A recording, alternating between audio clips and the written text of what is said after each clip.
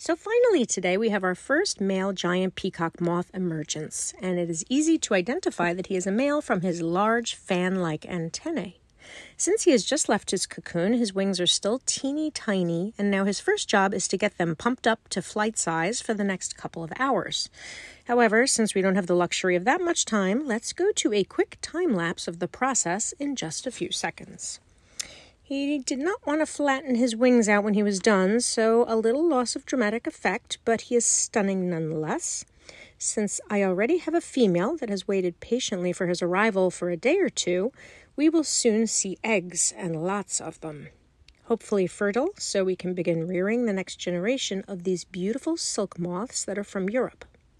This particular couple have waited a full two years to leave their cocoons, so they can require a lot of patience and there is still one more male left that has not yet emerged, although I am expecting it to be at any moment. And here we are a couple of days later and 130 eggs laid, all creamy white with a speckle of maroon, and now we just wait.